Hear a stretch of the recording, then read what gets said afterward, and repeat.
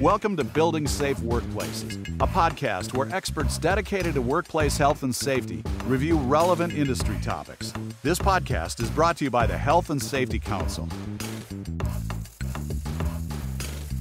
Welcome to today's podcast. I'm your host, Tommy Nipp. I'm here with a co host, Miss Nina LeBlanc. Hello, thank you. And our guest today is Mr. Alex Falcon. Appreciate it. Thank you. Thank So- you for having me. Alex, you're the guest of honor today. So, would you like to tell us a little bit about yourself? Uh, yeah. Currently, I um, I've been involved in the oil and gas industry almost all of my life, my young uh, adult life, I should say. Um, I've done everything from driving trucks during school while I was in school, and and now I'm actually the uh, the regional sales manager of a, a company called Morgan City Rentals out of the South Louisiana region. We our parent company is uh, Bishop Lifting Products.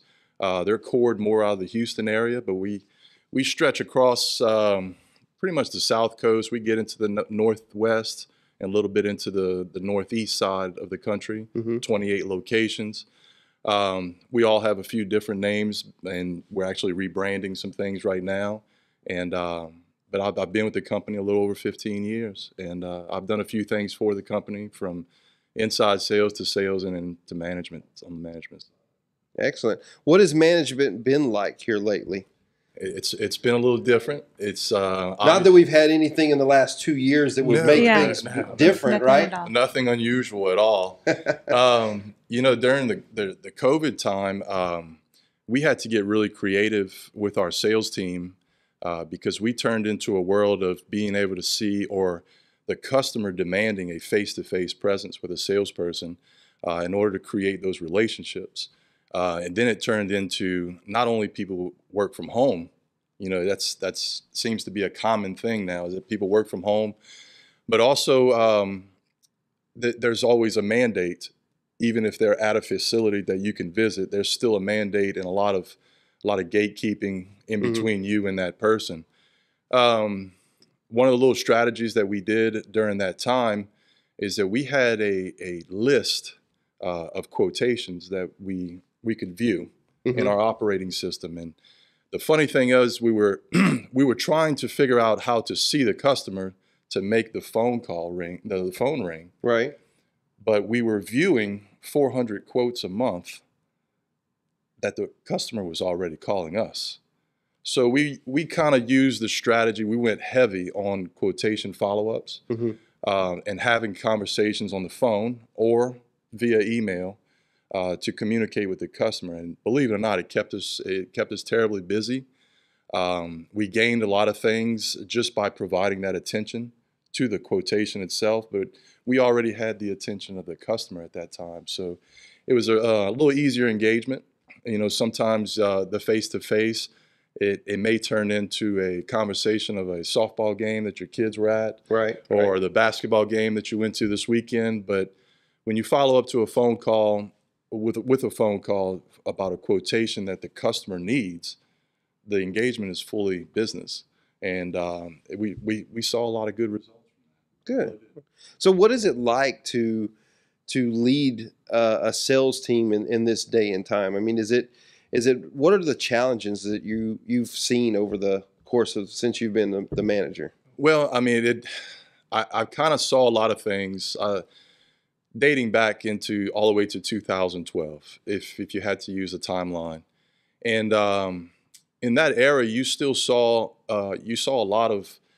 I hate to call it old school sales techniques, Mhm. but it was a lot of uh, a lot of entertainment. Let's call it Right. entertainment um, bonds that were were for life, and sometimes it was uh, personal slash business bonds.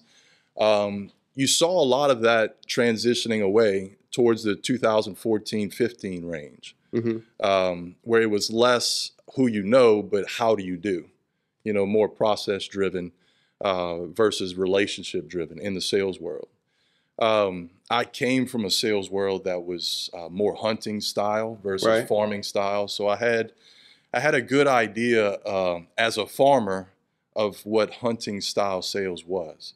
So um, So, for for those who may not have a background in sales. Okay, I'm sorry. Describe. No, it's okay. Describe what you mean by hunting versus farming. Well, I think they even references hunting versus harvest, right? Okay. So you know, kind of keeping with the H and H. So go ahead and tell us Yeah, what that okay, what gonna that hunter is. The the hunter is actually someone who is designated um, in an extreme hunting world. Let's just say it's a it's a person a salesperson designated to find new business only. Mhm. So there's a whole technique of in the 80-20 rule, uh, which funnels into from 100 phone calls on a Monday to eight presentations a day. Um, and it gets very extreme into presenting, presenting to new people to create new business only, and you move on. Mhm. And that's one of the things that I did in the past is um, we would create new customers, and then there were follow-up service people that followed what I what I created and and followed up with that customer. So you were really hunting for the work Only in, new in that. business, And yes. so describe that 80-20. So that out of your call rate, you're referring to the 80% fail, no return calls to 20 Success rate. success rate. Okay. And again, it's there's a lot of statistics of um, a cold call is rarely, I mean, almost rarely successful on the first call. Mhm. So there's like six calls that you can make thereafter, and then the and then the statistics get better and better. Um, if you're going by the book, Right. you know, people like to believe that they are they are the best at their first time face to face, when actually the person that calls on more people uh, that's not as successful with that skill, they they actually complement it with activity level, versus seeing five people a day and trying to trying to land four sales. That person's going to call 40 people a day and land four sales. hmm You know, if he's a one out of 10 versus nine out of 10 person. So Okay, so that's the hunter. So let's talk about the harvester. the the harvester or farmer um, is is the type of salesperson that has an account already created that they cater to, pay mind to, um, bring to lunch. The, the you know the the typical Right. right. salesperson. Um, the company that I work for, we actually um, we're more farming related. We, we we we make sure that the competition is staying out of our customer Mhm. which requires a lot of time, especially if you have a, a customer list that exceeds 100 customers. You know, and a lot of us do. Yeah. Um, but what our main job is to be sure that um, that we're providing the customer with the solutions to their problems, and that varies in, in different ways. But but at the same time, if a customer, uh, if we create a new service or a new product line, and we see a customer that could use it, we become a semi hunter at that time. Mhm. But it's with an established, farmed uh, customer already, a goodwill customer. So Right. but yeah, other than that, it's it's uh, the farming part you'd think would be easy. You know, you have an established customer; it's at the top of your list, and uh, they they they we utilize they utilize our services and product eighty percent. Uh, it's until you don't have that anymore. Right. When there's a manager that changes, or a new guy in town, or uh, positions change, and we saw a lot of that during COVID. Right. You know, a lot of people moved on to different industries. Um, and a lot of people had gotten switched around in job positions. Uh, myself, hmm you know, I transitioned from a, a salesman of seven years into a sales manager with a group of guys that are, that are all older than I am. But Yeah. Like what you hear so far? Make sure you never miss a show by clicking the subscribe button now. This podcast is made possible by listeners like you and our generous sponsors. Thank you for your support. Now, back to the show. So, what are some of the challenges you've had leading this group? Uh, uh, you mentioned that you're leading a group of people that uh, tend to be older than you. Have you seen any uh, generational challenges that you've that you've had to assess in your in your short time as being their manager? Yeah, I'm Ah, really I'm really interested in this because um, right now we talk about here at HASC we have five different generations in our workforce right now, right. and how there's a really unique challenge to make sure you're you're educating and uh, relating and communicating with all five generations at once. So, kind of curious as to how you you handle that. and we'll, we'll have to get into this topic because uh, the worst thing that a sales manager can do is is to assume that everyone's going to do the same thing the same way. Um, I like to use the analogy that I heard once that everyone can relate with the New Orleans Saints and Drew Brees when he was still with the Saints. hmm Hall of Fame quarterback, exceptional person, everything, all the above. What if you had 11 of those guys on offense? How good would the Saints have been? Had the receiver been Drew Brees, the the snap, the tackle, the guard, everyone be Drew Brees. So everyone had their own part. They're all built different. They all have their own skill levels. Um, I'll use two different guys that uh, we currently have on our sales team as an example. We have an executive level type sales rep. He's been with the company 44 years. Um, he is he's a different type of person. He's Right. uh, heart and soul with our company, uh, has bled for it, and and made a lot of sacrifices. But he is also uh, he'll do anything for the company. Mhm. He'll put the company before himself. Right. Um, different Which level- is rare these days sometimes. well, I mean, if if uh, if you have them, hang on to them yeah. kind of thing. Uh, we've also just rehired a uh, another sales rep that also heart and gold, black, uh, blue. I want to say black and red. That's the bishop colors, but he's blue and yellow. He's b- very Morgan City Rentals has been for a lot of years. Different style, not executive level style. He's more of the 10 minute, 15 minute lobby talk hmm kind of salesperson, but he's going to cover 20 customers a day. And then he's going to go to the office and then he's going to make 20 more phone calls that day. Right. So these two guys both have the same heart within the company and have two different styles of selling. And strategically, we hired the, the gentleman that I refer to as the non executive level. Um, strategically, we hired him back um, with the focus of recovering uh, revenue that we have not seen in the last two years, made up of about three or 400 customers. Mhm. We knew his style. Right. He calls on a lot of people every day, and he's an eight to five salesperson, not a nine to three salesperson. And we kind of knew that going into this hire, and we strategically hired him back to be the, the gentleman that services as many customers and gets us as much story as we can get from these 400 customers that we haven't seen revenue from. And currently, he's on pace from recovering about half of that revenue, which is quite a number. All right. So we, we've been pretty proud of a few things. So, I guess, you know, leading that into leadership, how have you looked at the different roles that those two play, as well as yourself? You started out with talking about the football analogy and these different characteristics. So, back to leadership and kind of thinking about the roles on your team, you know, how does that play a big, a big factor in, you know, Um, leadership skills? And It's actually a hot topic for us right now as well. Uh, we we're trying to do our best um, to let everyone know with our team specifically on all the resources that they have. I mean, all failures are not because of the weather, uh, you know, the lack of finances. I mean, it, COVID. COVID. Yeah. You know, you, COVID gets blamed for everything. Yeah, We- yeah. We, we, still got a ways to use that as an excuse. you can see the attitude in, in people that, that went through COVID. They blamed everything on COVID Mhm. rather than looking for new resources. And I just kind of told you this uh, during COVID, we could have easily laid off the entire sales team. No one was going to see them. Right. But rather than doing that, we had to figure out one, what was one of our biggest issues? And it was quotation follow ups. And when we addressed that, I realized it's also the activity level that this sales team can enhance in. And it, it separated us. You know, we, we stumbled into a few solutions that actually separated us. But um, awareness to all the resources. You know, the six reasons for three touches uh, strategy that we have is um, is actually being aware of all of our resources, how you can use them, and qualifying the activity levels on all that. And we use that in a CRM program that we've currently uh, began using. Cool. Well, you, you just mentioned your your six touches. What what are the six touches? What does It's- that mean? It's actually the six reasons. Six for reasons for yes. Okay. Okay. And look, our six reasons are going to be different than other people's Sure. six reasons. But uh, specifically, uh, at the top of the list, um, we like to reach out to the customer with uh, a thank you. Mhm. You know, as much as it doesn't seem relevant for a salesperson, a salesperson gets a quote, gets engaged, gets the order, pumps his fist, and he walks away. And that's what you typically will see. We call we call the customer, email the customer, and we'll tell them thank you for the invitation for the for the podcast. Uh, thank you for the the simple intro.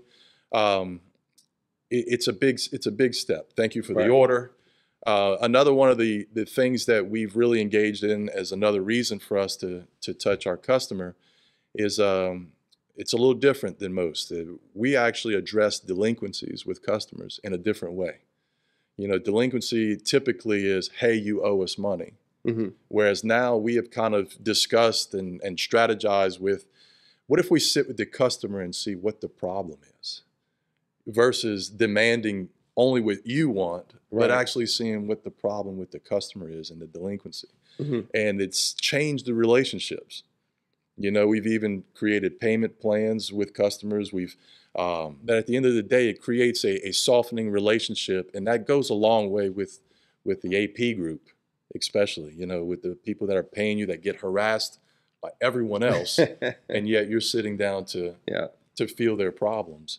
Um, quotation follow up Mhm. is one of our six reasons that that we focus on. We have tools that um, that show our customers what kind of rental equipment they currently have on rent with us, and what we do is that's almost like an unsolicited communication. We're sending that report to every customer every week just to make them aware that you still have this equipment with us. And uh, it's called our out items report. Right. And uh, what it does, it protects us in some ways where um, the customer may have forgotten to return the equipment. And that happens more often than you know. Oh, I do know. It does. Yes. I, I've been in businesses and, and organizations where we, we would rent something and we would ha- plan on having it kind of long term. And the next thing you know, six months later, it's still there. We're not sure is it rented? Do we own it? What what do we do with this piece Exactly. of equipment, right? And Yeah. we we actually created that report uh, quite some years ago uh, in our old system prior to our, our last acquisition.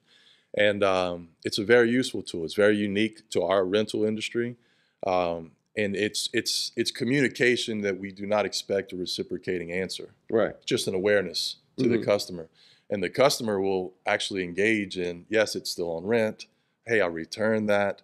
Um, nonetheless, it creates a, a different type of relationship. Um, the other, uh, the other, we have a, our, in our business, when we miss a rental, we document it. And uh, we, as a sales team, we'll actually reach out to that customer and ask them, hey, did you find the piece of equipment that you called us for? I know we did not have it for you, wasn't available, but did, did you find it or can we help you find it elsewhere? Um, we also get into um, the the other the other reasons can go on and on. Right. Again, it can be customized to everybody. The more important part is is the three touches side of the business. Uh, I mean, of sales. Mhm. The um, that all it, it stems from a conversation with a great friend of mine, and um, in his industry, they used the term of three touches in a way of uh, hunting new sales. Mhm. You know, you can email the person, your prospect, you can call the person, try to meet the person face to face, the prospect. If you do not succeed in those three touches, you move forward to your next prospect. And I thought to myself, in a farming world, in the industry that we work in, why is it why is it only that a face-to-face connection with a customer is the only thing validated in a sales report? Right. And it's been discredited for so long. So rather than discrediting an email or a phone call to a customer, and I've had personal experiences where it was the better option, Mhm. especially in COVID times. Mhm. It was the better option to communicate with the customer. They may not have time for you. And the one experience that I did have, the guy was not even at the office, and I, it was in my plans to see him that Mhm. afternoon. I couldn't make it. So I called him. He was away from the office. It turned into an order by chance. That doesn't happen. Yeah. That doesn't typically happen. So what we did was we validated phone calls and emails, and we do it through our CRM program. Today we do it as in our CRM program where we credit the salesperson for a good email and a good phone call if it creates value to the to the customer. Um, and you can't just expect the salesperson to instantly go from being discredited with a phone call to being good at a phone call. Right. And so we kind of used examples and we kind of uh, gave good instruction on ask a question that you expect an answer. not expect an answer, but can get a validated answer that would help operations, sales, whatever the region is, especially in, in the budgeting times. Right. But yeah, because because sometimes if you if you just validate just phone calls, I can sit there and speed dial all day long, but it's it's the If you're good at value it. of that phone call, right? correct. Well, Yeah. I, I find this so interesting. You know, we, I'm director of account management here Mhm. for HASC, and so um, the thing I find interesting is that there's not enough time in the day sometimes, you know, to do all those face to faces, and you know, we we try really hard to get out in the field and be with all of our members and have those face to face conversations because they really are more personal, personable. Mhm. Um, but it's the time, you know, and so having those quality touches via the different tools and methods, you know, um, I think is valuable. You know, it's just a different type, especially as we're, um, you know, one of our team members, Vanessa here on staff, she said um, she had a really great line, and it said, you know, as our needs change, so should should our solutions, right? And so we saw that through COVID. You know, we had the need to still talk to people, help people, see people, do COVID testing. has never shut down during that Right, time right. you know but um, we altered our solutions for our members you know and even the ability to do uh, virtual covid testing you know and proctor that oh, virtually was you know something that our member came to us said we have this need we figured it out for him so you know really being able to be flexible and come up with some different solutions you know is i I think great points for And you know all- not sales yeah. but you know any kind of application and, and, and in any any business, any uh, organization like you guys, um, it's a it's about knowing your resources, you know, and that's um, one of the things I've listened to several times that people don't fail because of um, the weather, you know, they they fail because of the way they view the weather, Yeah. you know, and not everybody hates the cold. Mm-hmm. You know, you tell the people in Alaska that people hate the cold and they'll laugh at you. You know, and so I, I believe it's it's more about knowing how to use your resources, but that comes with training, uh, awareness, and uh, as a sales leader, what's what's funny, I'm saying that is what I found more than anything when I became the sales manager. I realized that um, no one works for me. I work for them. Right. You know, my biggest focus is creating opportunities for my sales team. I said that the first day, Uh-huh. you know, and I and, I- and look, I'm I'm talking to senior level salespeople that are now under my umbrella, and it, it kind of made it it made it easier for me to tell those guys I, I work for you. Mhm. You know, one specifically, I said I need to learn a lot from you, so I'll be 25% teaching you, but you'll be 75% teaching me. Yeah. And um, so I, I did not realize what I said uh, because whenever, every day that I sit down in front of my computer, the only thing I'm thinking about is how do I create opportunities for my sales team? And then we get into the six reasons for three touches. We get into our, our sales meeting structure and teaching in market diversification. Uh, that's how we survived Yeah. during COVID. The oil and gas industry was not hot and heavy offshore Right. you know so we had to get very diversified um, 90% of my job now as a sales leader is paying attention not to my people but to the industry to the product line to the changes um, everything is about paying attention Mhm. and so i have to find all my resources to pay attention social media being one of them um, but i realize that's that's what's happened to me how i've evolved as a as a person who thought they wanted to be a leader, got put in the role, and then had to really get creative with being a leader. Right. So What what you described is is is really the model of servant leadership, right? Uh, one one of my one of my mentors told me one time and said, "Tommy, surround yourself with smart, capable people, and then your job is to do everything you can to make them successful." And uh, that's that's servant leadership in in a nutshell, right there. And it's it's interesting to see that that it bridges all genres of, Yeah. of the job. You know, it's not just it's not just you know on on the the the craftsman level or in a plant or Correct. anywhere else. It even goes into sales. You know, like you said, your your job was to learn from your people and make them successful and and set them up for success, right?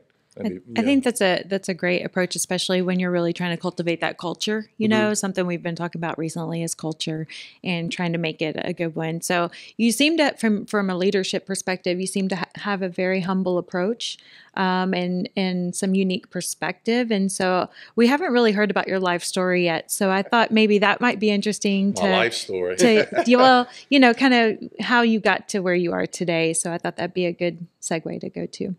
Yeah, um, and, and I, I've been told um, how passionate I can be about some things, um, but something occurred in my life, and um, I was a young man at the time. I was I was 28 years old. I was 2003. Mhm. I contracted a lung disease that changed my life. Um, that's so cliche to say, but it really changed the perspective on life. I um, I was now in a situation where I was with a lot of questions, and I had to have positive answers, and um, which really changed the way I viewed other people. When people have a pity me situation and don't find ways to to resolve their problems. Right. Um, the disease that I contracted is called MAC for short. Uh, it's called a Mycobacterium evoleum complex. I might say that wrong. Yeah, we won't. I We don't won't. have It's a, that it's a degree. long yeah. technical term. I was right? gonna say, I guarantee you, we won't quote you. Yeah. But I know your story a little bit. Do you, can you share how you got that? Uh, just because it was so random. Yes, it was. It was very random. I was um, I was in a public hot tub.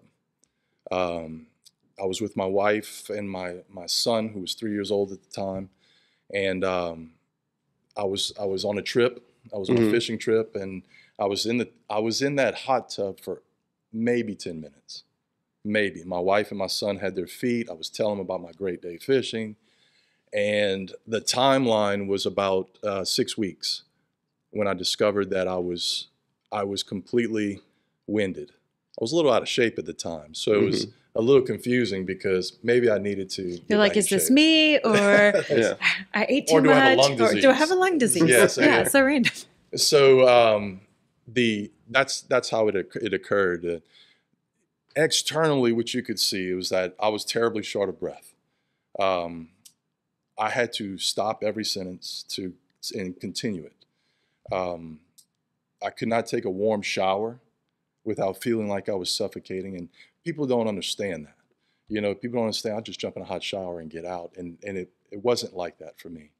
I tell a simple story, really quick story about the three steps that it takes to get into my grandmother's home. And uh, I remember viewing those steps every time I came through the sidewalk. And the challenge in my brain, not everyone else, was literally one step at a time, one foot at a time. Get to the top, gather yourself, don't pass out. And that's that's where I was Mhm. physically. Yeah.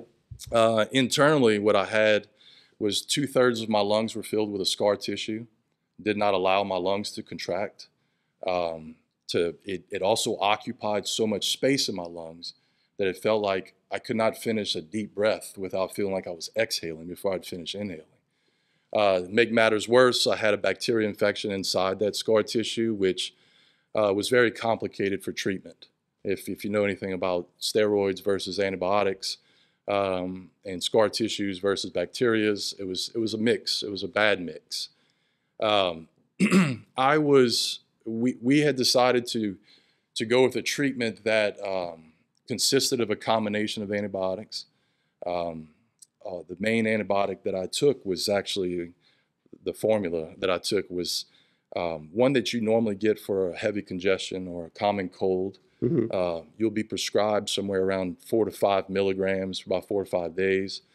Um, it's Zithromax, otherwise known as a Z-Pack, and that's been common through the COVID times. Mhm. Right. I was on 2,000 milligrams for 24 months. So that was, if you can imagine what an antibiotic does to your stomach, it, it, it really, it, re- but this was the solution. Mhm. This was my only, my only chance. Uh, another antibiotic that I took was um, called ethambutol. Um, ethambutol can cause color blindness. So I now had to go to an eye doctor on a regular basis to make sure that red lights were red, green lights were green. I drove every day for a living at the time. So I had to make sure the little things were, were correct. We're still working, We're right? still Yeah. working. And I call them little things, but that's another and thing. not a danger to you, your family, and everybody else. Yeah. and everyone else. But that's another thing people take for granted. You know, is is, is something like that. Um, one of the biggest side effects that the the treatment took on is that uh, I now have numbness from the tops of my knees all the way to the tips of my toes on the pads of the bottom of my feet. It's um, it's a it's a numbness that's caused from nerve damage in my legs. Uh, something I live with to this day. Um, it's I've gotten adapted to it, you Mhm. know, but it's a trade-off. You know, Yeah. it's, it's somewhat of a trade-off.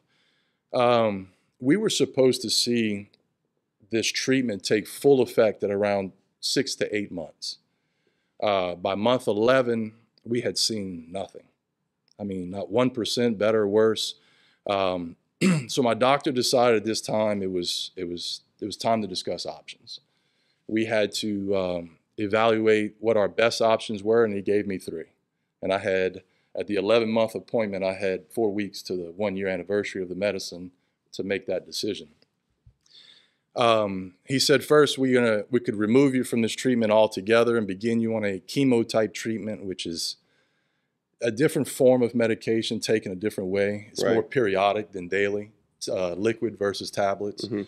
Uh, I'm not sure what that treatment was called.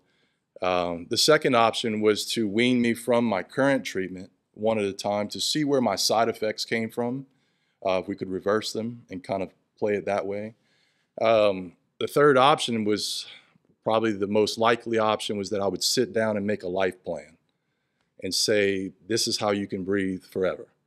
And it was very, very limited Wow. very very Mhm. limited so that was that was the three options i had you know you don't always get the best cards but you have to play them Right. you know and and that's how i had to view it at that point in time um, at this time i knew discussing this with the doctor that i knew with uh, due to a lack of oxygen that was in my blood due to the lack of breathing i wouldn't live a complete life hmm um, not the life You I were had used inten- to. Yeah, that, Right. well, that I had intended. I mean, when Yeah. you're 28 years old, you're thinking of the world, Right. you know. And now, You're still young enough to have ideals, right? yeah, now, now I can't go outside after 9:30 on a summer day, yeah. you know. And um, but I, but personally, I had made I'd made peace with myself. I made peace with God. Um, It's okay. Take your time. the hardest part is that I wasn't afraid to die. hmm Um, it's, it hurts to say that. Right. and I usually choke up right after, but I, I, it, it, it hit me beforehand, and um, but I, I knew, you know, and I was it's it's different when you're in that world when your mind's thinking different. You're positive, but you know Mhm. the inevitables. Um, my biggest fear was not to be able to say goodbye, you know, and a lot of people would say that they're facing death or the likeliness of death that they they're afraid to not be able to say goodbye Right. um, the question that I had was, did I say enough, and did I say it to enough people? hmm You know, did Mhm. did I touch enough people with uh, with my life? Um, so at one point in this process, I decided that um, I would write a letter um, to all my family and friends who who I would not be able to reach out to in case tomorrow would be my last day. Right. Um, that's the way I looked at it. And I started writing the letter, and then the letter became my story. It became the story that I wanted people to remember me by. Oh, I actually have the, the letter. Oh, wow. So, Are we going to get to hear the letter today? Yeah. Sure. Okay. okay, you sure? Okay. Okay. um, there are details in here, and my grammar is pretty horrible at, at 28. I'm, so- I was going to ask, has this letter been edited over the years, no, or no, this is the 28 year old this version? Is, uh, this is the 28 year old Okay. version. okay. uh, not exposed to real world. Well, Yeah. actually, at this time, uh, there are details in here that I didn't share with you, Mhm. uh, but I thought they were relevant to describe who I am, Right. or Mhm. why I am, and uh, how we actually got here today. And you're 28 years old, and, and, and what year is this? This is 2000. Uh, I was diagnosed and I contracted in 03, late Mhm. uh, 03, and I, I was diagnosed in 04. Okay. Okay. So this is about 04. You're writing this letter, right? 04, actually, Okay. yes. Um, 04, I'm Oh, writing this letter. Okay. All right. So nice. uh, I'll read it. Okay. Most days I wake before my family, and I wonder how can I be so lucky to have these people in my life? Tragedy has faced me so many times, and I continue to bounce back, although I feel so weak. My glory days are over, and I have faced life ahead. My experiences are so many to be counted, and tears cleanse my face as I think of them. As I exit my room, I pass below my sick cross. I usually refer to the words of my favorite prayer Lord, grant me the serenity to accept the things I cannot change and the strength to change the things that I can. I was eight years old and had taken our first vacation without my older brother. At that age, it was kind of a relief because my brother always had to keep me in line and watch my every move. We were enjoying ourselves on many of beautiful days, and when my uncle received the call, my mother was escorted from the beach before we had a chance to get out of the water. Eventually, it was my cousin who had explained to me that my brother had been involved in a serious car accident.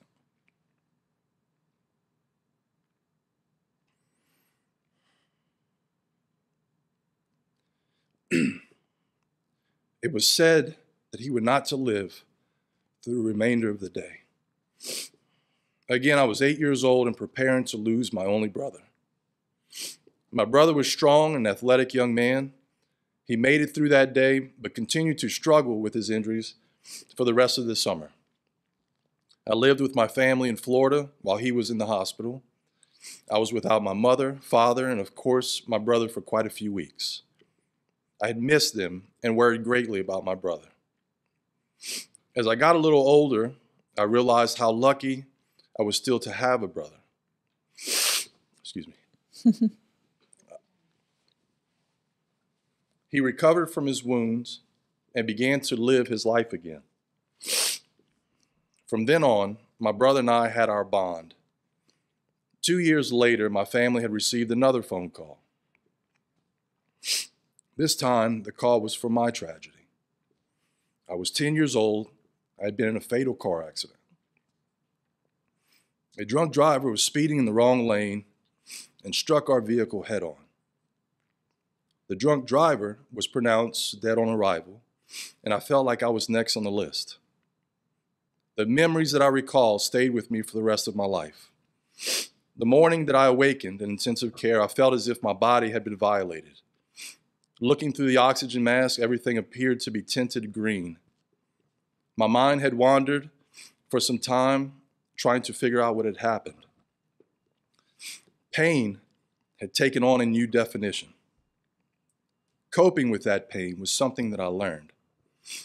Relaxing and breathing were techniques that I used every time someone asked me to move. I took baby steps through th- physical therapy and I dealt with new pain every day. On top of physical methods of dealing with my issues, I would bring myself to a, a peaceful place mentally. Regardless of how unbearable everything seemed, I would tell myself that everything was going to be over soon and that we were going to be okay. I had that I'd said that so many times that I truly believed it. Little did I know that the words of confidence were not of my whisper, but of my faith. My faith in God. It has been 18 years since my car accident. I've shared those stories repeatedly. Some people feel as if they, they must pity me and some feel that I'm fortunate to be have been rewarded financially for my pain. Personally, my award or reward is to be able to speak to my brother, my father, and my stressed mother. Unless you have been there, it is difficult to understand the family that most people take for granted. I've been extremely blessed with many experiences since my tragedies as a child. I have seen I've been successful in athletics. I've met uh, many exceptional people, have had a few unbelievable employers. I have developed a beautiful family of my own. My wife and my two children have conquered my heart. I still see me writing this letter.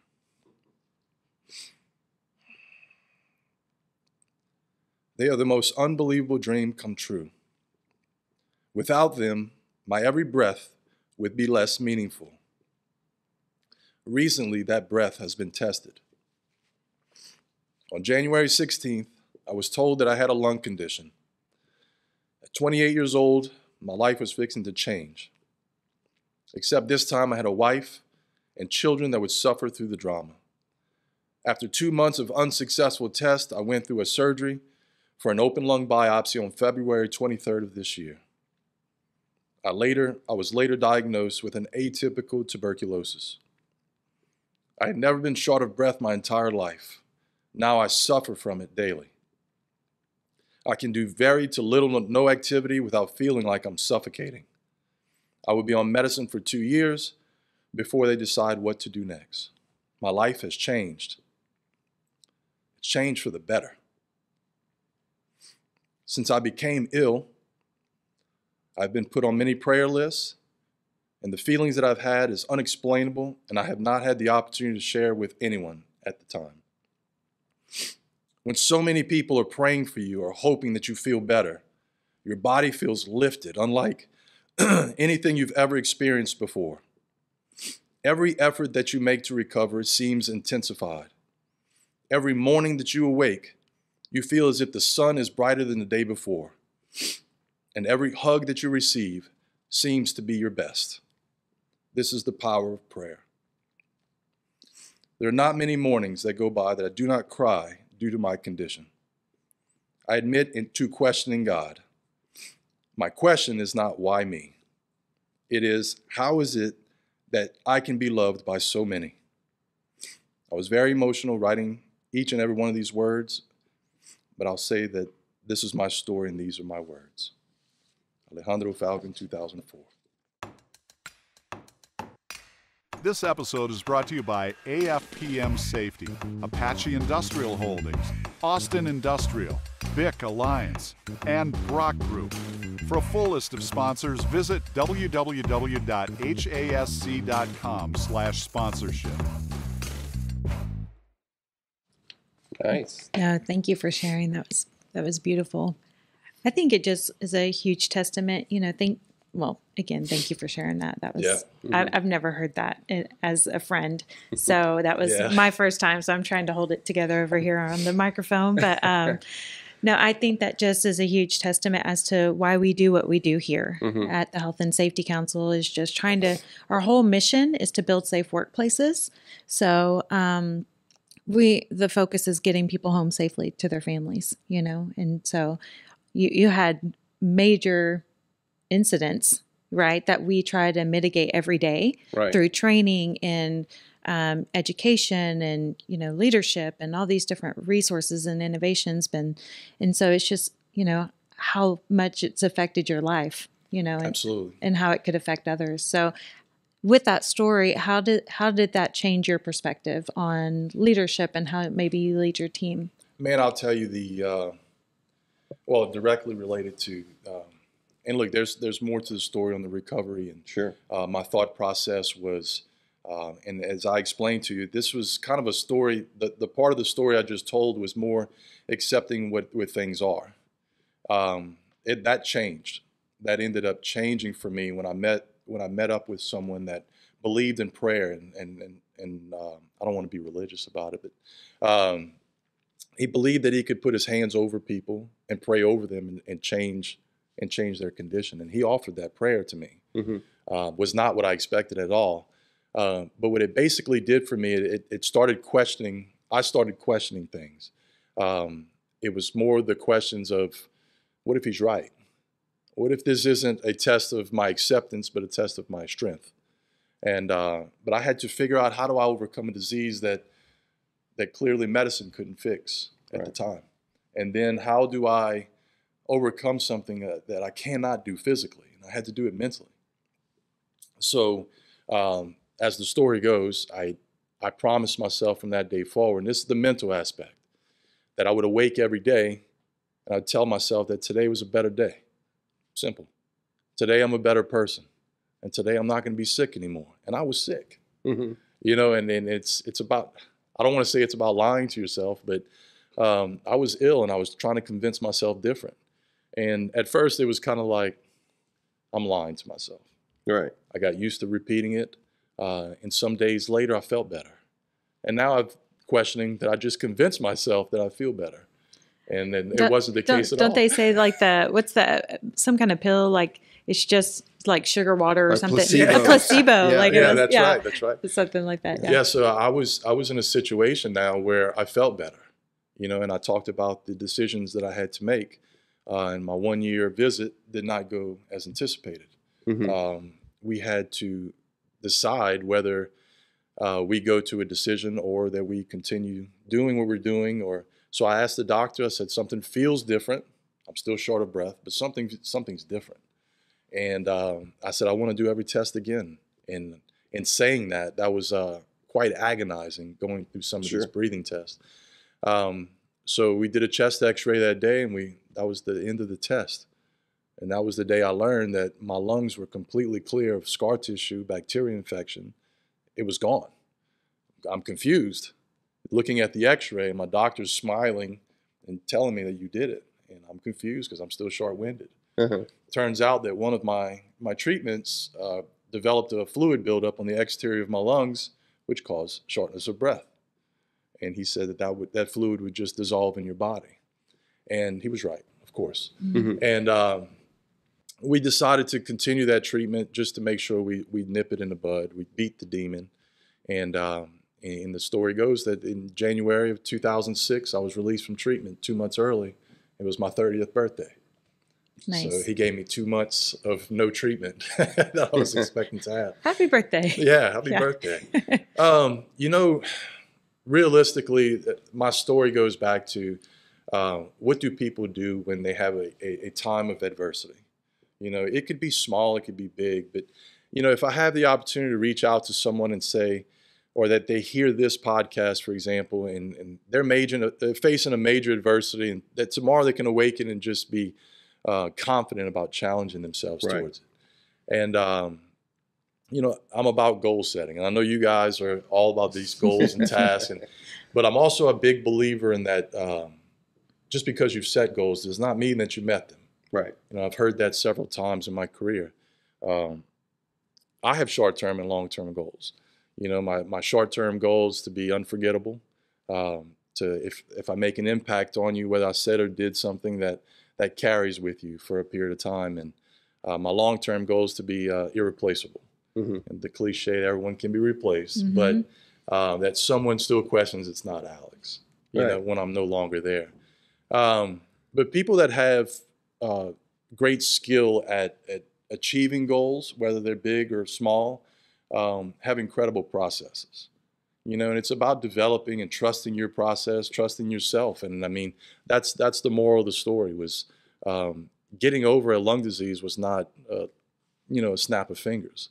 It was a lot of things. It was a lot of it failed attempts. It was a lot of mental um, but it was a process, you know, and everything going back to your question, um, the six reasons for three touches is a process. Right. You know, it's it's a formula, a structure for um, being consistent. Uh, you know, being valuable to your customer first before you're valuable to your company. You know, and we see that that that is a better return than any revenue, any margin that comes from sales altogether. Is if we put our customer first with what they need and adapt to that, then we win. You Mhm. know, it, it's about showing gratitude, and that that's the biggest payoff is that the customer's loyal. Well, I have to brag on him for a second just because I know a little bit about Uh-huh. him. Um, what he didn't say as one of his goals was doing a marathon after his lung disease or triathlon, I Uh, think. yeah. Yes. I actually did. Uh, thank you. I'm, I'm glad you plugged that. Yeah. yeah, absolutely. So, in case we ever get our own team here, Yeah. you know, He's, Yeah. he's, he's on it, right? That's yeah, right. I'll be the coach. yeah, my That's feet right. hurt now. My yeah, back hurts. he'll be our leader. Yeah. Um, yeah, so so I was released from treatment in 06. I started with Morgan City Rentals in 07. Um, my boss at the time was a triathlete, and I'd always wanted to be a runner. hmm You know, and I said, I see these people that have this high off of running, but I've never been a runner.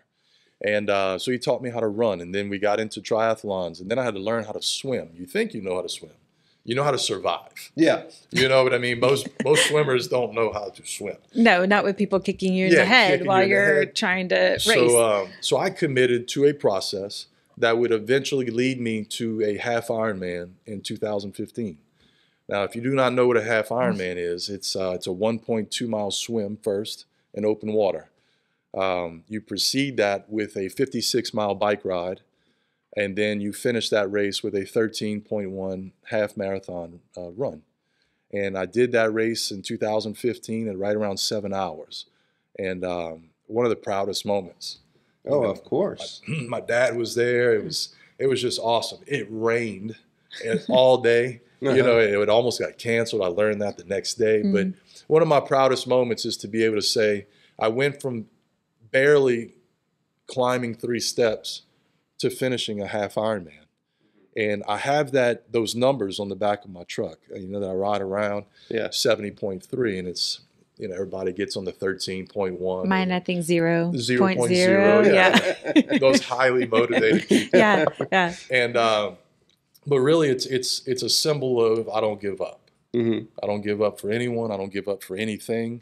And as much as you want to give up on a salesperson at times, you can't. Yeah. You can't. You know, in in in a in a process or an idea or um, an issue that your company's having, you have to be the problem solver versus versus the problem developer. Yeah. And another big thing I see with that is the importance of training. Right. I mean, how long did Wow, you? yes. I How forgot long? about that part. Yeah. I mean, let's be honest. How long did you baby train steps. for that? Yeah, so I took baby steps just getting to that year. You know, it was the advice that I was given to start small Right. on that small triathlon, and then and then getting the longer distance. And then finally, I uh, the year before I trained, it was 22 weeks. I had a 22 week training session uh, for that, and it was uh, five days a week. You had two off days, uh, but it was it was a lot. I was coaching at the time. Yeah. So there was a lot of midnight training uh, or 4 a.m. trainings before work, uh, but it was something I was set out to do, you know, and there was nothing, nothing was going to stop me from Right. doing that. And then, and I did it. I wish, I wish I had another one to go with it, but uh, maybe one day, Nina and I, or Tommy and I. Yeah, that's right. Don't hold your breath on that one.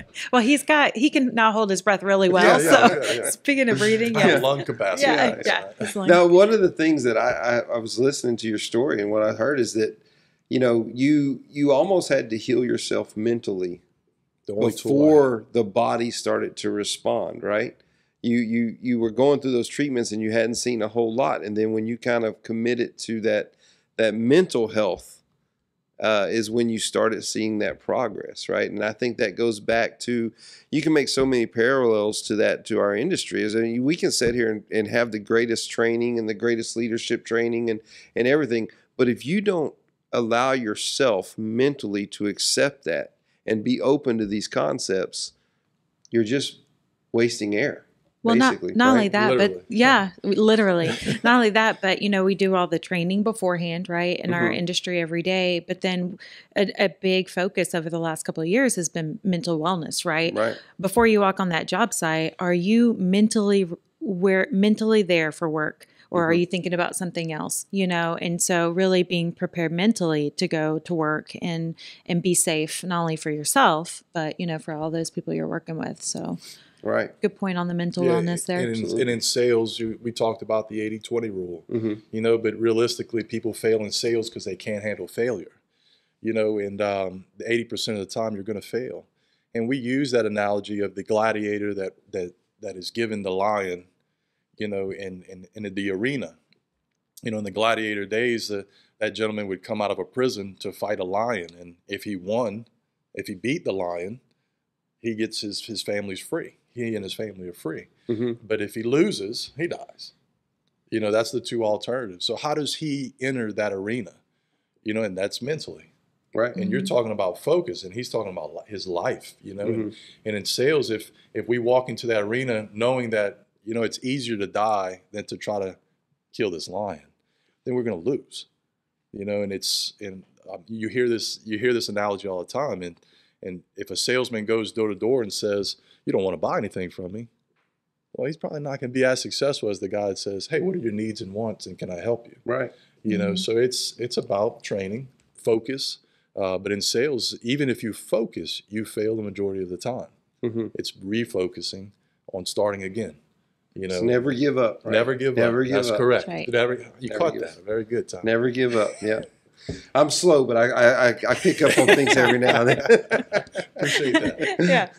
well, Alex, it has been a pleasure having Mhm. you come in and, and talk with us and share your story. It's Thank you. been very enlightening. Uh, it's just it's an amazing story, and, I- and I'm glad you you took the time to share it with us today and, and, and have those insights into not only your personal journey but also your career journey and, and how that's helped you and, and how it's all connected. Makes you So, stronger. yes, Yeah. I, I really appreciate it. Mhm. Yeah, and the the Ben. leadership perspective of more of the servant leadership and kind of some some powerful tools and resources. Um, you know, there was a lot of attributes you used in your three, or you know, look characteristics that you used of giving thanks and um, educating and communicating. Really, are a lot of your three main focuses in your in your steps. So, thank you for that. It was Yeah. good. Appreciate y'all having me. Yeah, All right. I I enjoyed it. All right, that's it. Thank you, guys. Thank you.